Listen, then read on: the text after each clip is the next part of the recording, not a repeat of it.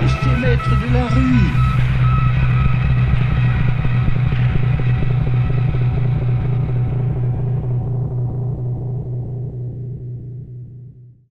Quand, mai 68 éclate, euh, euh, on entend parler des, de la révolte des étudiants à Nanterre, de ce qui se passe, etc. Et moi, j'étais déjà en couple euh, avec un garçon qui s'appelait Nicolas, qui était au lycée Aurécat, euh, qui est dans le 5e au, quartier latin. Donc il était en plein dans les premiers lycées qui ont démarré. Euh, c'était celui-là. Il y avait aussi Voltaire qui était à côté de. le lycée Voltaire qui était à, côté d'Hélène Boucher. Et les, lycées à côté de garçons sont venus essayer de, de mettre en combat les, les lycéennes. Donc ils sont venus et moi j'étais un peu emballée par ce qui se passait. On sentait bien qu'il y avait quelque chose d'extraordinaire qui se passait avec le mouvement étudiant. Euh, déjà on avait entendu parler du mouvement du 22 mars à Nanterre. Et cette explosion dans les lycées, ça, ça fait c'était quand même assez comme une flambée, quoi. Et, voilà. Et donc j'étais parmi celles dans mon lycée qui étaient un peu animatrices pour euh, mettre en, en, grève le lycée, que les, que les lycéennes arrêtent de faire les cours. Ça, c'est parti assez vite avec des assemblées dans les classes, il y avait des professeurs qui nous soutenaient, et on, voilà, je me souviens de ça, on discutait de tout, on faisait des commissions sur la pédagogie, sur euh, la discipline, parce que la question de la discipline était très importante. On en avait ras-le-bol d'avoir des interdits. On avait, il fallait qu'on mette des blouses euh, obligatoires. Euh, c'était rose une semaine, beige l'autre semaine. On n'avait pas le droit de mettre des talons hauts parce que ça rayait les parquets. Puis de toute façon, c'était trop euh, provoquant, des talons. Pas le droit de mettre des pantalons. On y évidemment des mini-jupes. on n'avait pas le droit de se maquiller. Bon, on discutait tout ça, de, donc un peu cette chape de plomb qui finalement nous étouffait sans vraiment qu'on s'en rende compte, on l'acceptait. Et là, c'était une découverte que en fait c'était pas supportable. Et aussi sur les cours euh, magistraux, sur voilà, et on sur plein de sujets de société qui étaient discutés aussi dans dans d'autres endroits euh, qui étaient en grève. Mais au bout de, je sais pas, peut-être 3-4 jours, euh, la direction du lycée a fermé le lycée. Et donc, du coup, toutes mes copines sont parties chez elles et moi, je me retrouvais toute seule. J'avais, j'avais même pas, voilà, c'était, fini. Donc, je suis allée au quartier latin et je suis allée au lycée Henri et je suivais tout ce qui se passait dans ce lycée. Il y avait vraiment, euh, c'était des, centres de discussion euh, sans fin. J'ai appris beaucoup de choses. On faisait toutes les manifs, il y, avait des manifestations quasiment tous les jours, euh, parce qu'en fait, on protestait contre le fait que des, les étudiants avaient été arrêtés. Et j'ai participé effectivement à la nuit des barricades, puisque euh, c'était en plein quartier latin, en haut du, boulevard euh, Saint-Michel et la rue Soufflot, je ne sais plus laquelle c'est. Et avec mon compagnon, donc j'ai participé aux chaînes pour euh, dépaver les rues et passer les pavés pour faire des, barricades. C'était, vraiment assez fou quoi, comme ambiance. C'était assez joyeux même. Mais au bout d'un moment, il y a quand même les, CRS qui sont arrivés. Alors, c'est pas du tout les CRS d'aujourd'hui, ils n'étaient pas harnachés comme aujourd'hui, mais quand même, ils étaient assez, euh, assez impressionnants, assez violents. Et au bout d'un moment, je me suis enfui comme pas mal de, gens. Hein, euh, quand ils ont voulu charger euh, à un moment, un des endroits où on avait fait une, une monticule de, pavés, et j'ai perdu mon compagnon. Il était parti je sais pas où. Il, je crois qu'il avait poursuivi un CRS, mais moi je fuyais plutôt les CRS. J'étais assez paniquée. Et le matin, quand je me suis réveillée et que je suis sortie, j'étais un peu groggy. quand j'ai vu tout ce qui, était dans les rues, les, voitures euh, brûlées, les, grilles d'arbres arrachées, les, les, barricades un peu partout, euh, c'était assez impressionnant. Euh. et puis après, j'ai vu les journaux. Je me suis dit, mince, j'ai. échappé belle, peut-être à quelque chose, à des gens qui se sont fait tabasser. Voilà, et je suis rentrée à la maison et j'ai retrouvé mon, mon compagnon, on, était à l'époque chez sa mère. Ça a choqué beaucoup euh, cette nuit et la répression qu'il y a eu, parce qu'il y a eu quand même pas mal de, jeunes qui ont été arrêtés, qui ont été euh, mis en garde à vue, etc. Il y a eu une répression assez importante.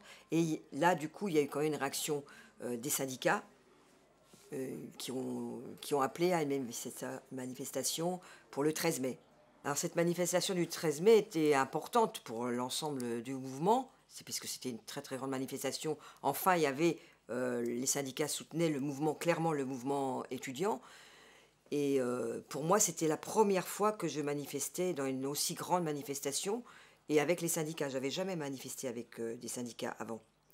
Et donc j'étais évidemment dans le cortège euh, étudiant lycéen. C'est voilà, je me souviens de quelque chose d'énorme qui a duré très très longtemps.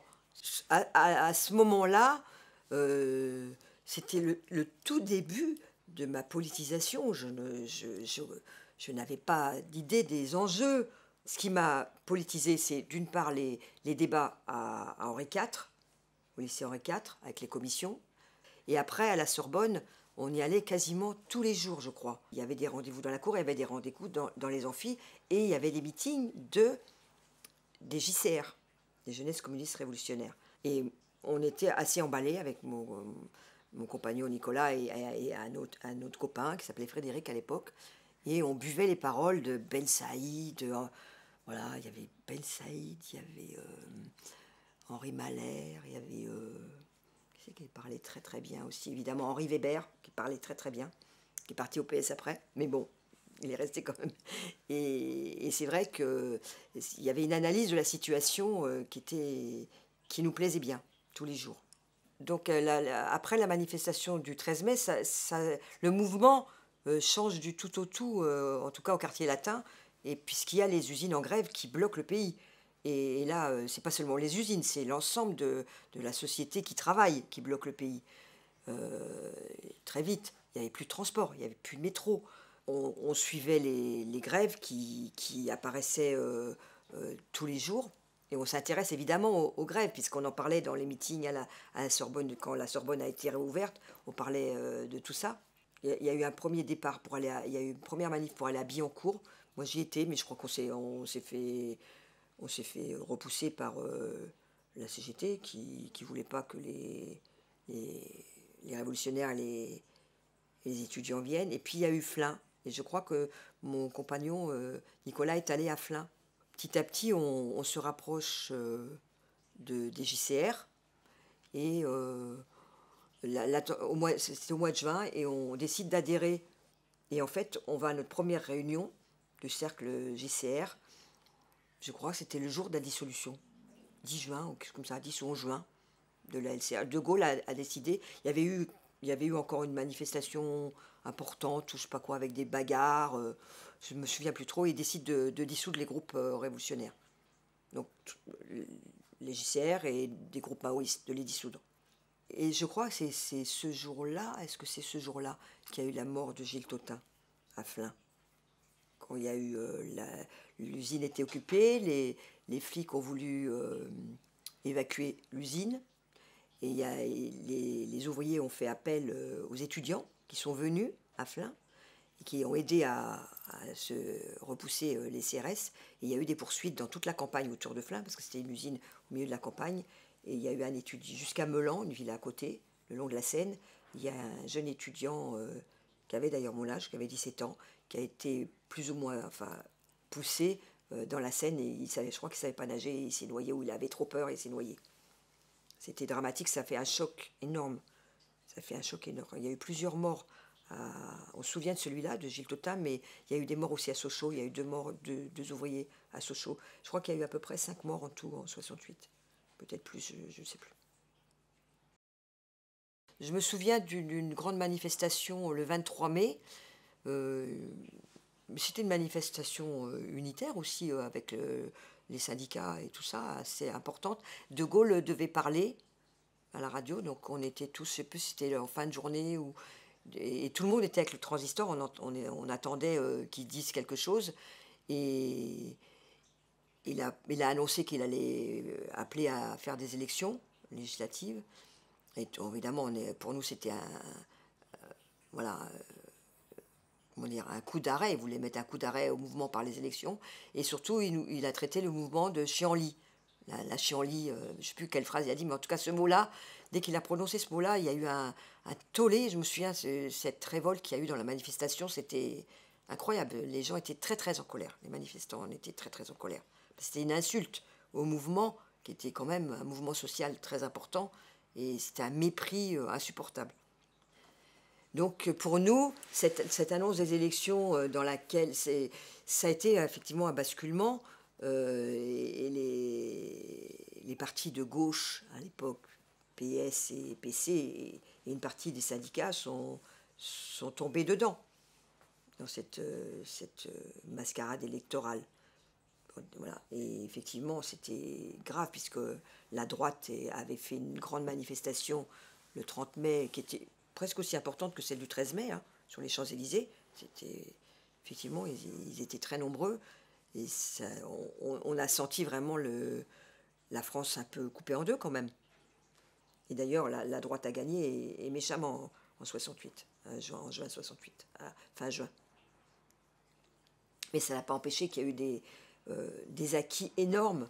Euh, on s'en est rendu compte après, euh, des acquis sociaux énormes de 68, et que ça a bousculé pas seulement au niveau du droit, puisque c'est quand même, il y a eu des droits, ou, des droits syndicaux importants, notamment la, création de la section syndicale d'entreprise. À l'époque, je ne me rendais pas compte de, l'importance de ce droit-là, de l'importance de la section syndicale, et puis tout ce qu'il y a eu sur les salaires, sur les horaires, etc. Il y a eu quelque chose qui a changé, mais ça a surtout changé dans la tête des gens, au niveau d'une espèce de libération dans toutes les classes sociales, je crois. Pas seulement la jeunesse, mais aussi dans la classe ouvrière. Il y a eu une libération, je m'en suis rendu compte après. Il y, avait un courant dans, la, Ligue communiste, euh, ça s'appelait Ligue communiste, pas, révolutionnaire encore, c'était pas le CRTL, Ligue communiste. Il y avait un courant qui euh, était un peu attiré par les, idées maoïstes, notamment concernant la classe ouvrière, le, rôle de, la classe ouvrière. Il s'appelait Révolution. Euh, on, s'est dit, ouais, 68 euh, répétitions générales, c'était le titre d'ailleurs du livre de, Daniel Betsaïd et Henri Weber, 68 répétitions générales. On s'est dit, ouais, on a raté parce qu'on n'était pas, les révolutionnaires n'étaient pas implantés dans la classe ouvrière. Donc on n'a pas le temps, il faut y aller. Il faut y aller nous-mêmes. On n'a pas le temps de, euh, d'aller convaincre les gens à l'extérieur des entreprises, il faut rentrer dans les usines pour construire des, noyaux quoi, révolutionnaires. Donc on s'est dit, on va aller à Renault-Flin, parce qu'on avait déjà eu des contacts. On a dû partir en 71, et on a commencé à écrire des tracts de révolution, ça s'appelait Combat Rouge, Révolution, et c'est Edmond qui avait fait le logo de, des tracts. C'était un point avec une clé à molette, dit comme ça. Et le tract s'appelait la clamolette. En fait, les ouvriers, après, ont, très vite rebaptisé le tract. Combat rouge, ils s'en foutaient complètement. On était très, très. C'était beaucoup Nicolas qui écrivait les tracts. Et, l'esprit de 68, très, très euh, pugnace, très combatif. Et le langage parlé, c'était pas des rédactions littéraires, c'était vraiment. Euh, euh, des fois même assez violent. Mais ça plaisait bien. on popularisait beaucoup les grèves au début et les mouvements féministes. Après, il y a eu le procès de Bobigny et tout ça. Donc, euh, et donc on, a décidé de rentrer à l'usine. Donc Nicolas m'a proposé d'aller là-bas, euh, vivre là-bas, à côté de Flins, à Aubergenville. Et on s'est dit, on va rentrer à plusieurs. Donc il y avait les établis, ceux qui sont rentrés à l'usine, pas que à Flins, parce qu'il y a eu d'autres établis dans les usines autour. On avait quand même, on avait étudié la région, on avait vu qu'il y avait plein d'usines euh, dans le Mantois, autour de Flins. On s'était dit, ouais, on va changer, on va. Euh, cette usine qui a, résisté beaucoup, euh, à la fois au, patronat, à la direction de Renault et aussi au syndicat, qui, voilà, qui, s'est bien. On s'est dit, c'est là qu'il faut être, elle va révolutionner un peu la société. Et nous, on va vite, en 10 ans, ça y est, ça va être bouclé, on va refaire un autre mouvement. Mais on s'est vite rendu compte que c'était beaucoup plus compliqué que ça et notamment notre rapport aux syndicats. Notre, organisation euh, disait qu'il fallait être dans les syndicats lutte de classe. Et pour le coup, en analysant les syndicats à Flins, la CGT et la CFDT correspondaient à cette caractérisation de syndicats lutte de classe. Surtout la CFDT, qui était une CFDT euh, assez à gauche, assez contestataire, autogestionnaire, enfin voilà, dans les idées des années 70 de la CFDT. Et elle est restée très longtemps. Donc j'ai été sollicitée très vite par, par la CFDT pour rentrer, pour être délégué. En fait, si on peut tirer un peu des enseignements de tout ça, c'est que euh, moi, euh, jeune lycéenne, euh, bon, après, à passer mon bac, j'étais en première. Mon, avenir, en fait, c'était socialement, qui était, aurait dû être que je devienne prof, prof de lycée ou de collège. Mais en fait, je, ne foutais rien, je, je faisais que militer dans les années 69-70.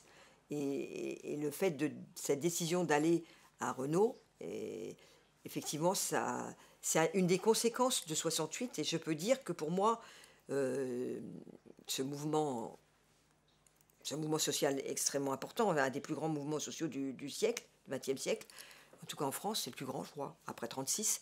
Euh, ça a vraiment changé ma vie. Ça a changé le cours de ma vie.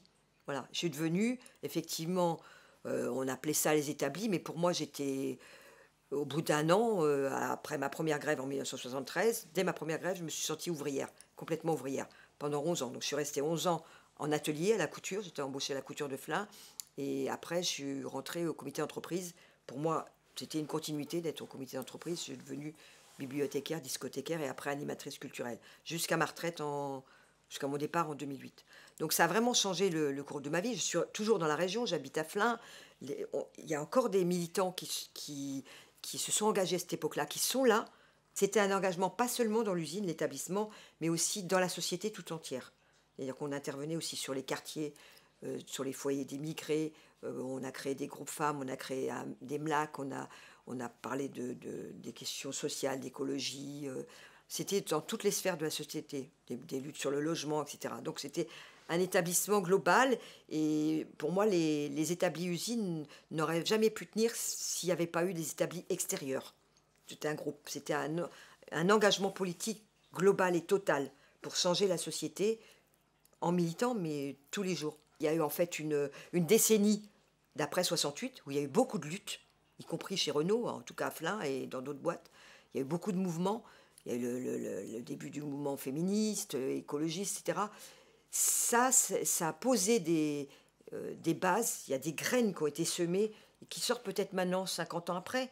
Le, mouvement qui a eu euh, contre la loi travail, par exemple, avec les nuits debout, manifeste de ça, que c'est toujours possible. Et quand je suis allée à Nuit debout, on a essayé même de construire un petit Nuit debout à Mantes-la-Jolie, mais quand je suis allée à Paris, j'ai senti ce parfum lointain de, 68, cette libération qu'il y avait entre les gens, euh, cette convivialité, ce désir de, comprendre, d'analyser, de, changer, mais de comprendre et d'expliquer le monde. Moi, je, souhaite que les jeunes d'aujourd'hui vivent ce que nous, on a vécu. Alors, ce sera différent, forcément, ça ne peut pas répéter. Mais un mouvement comme ça, euh, je souhaite que, que toutes ces nouvelles générations euh, le vivent.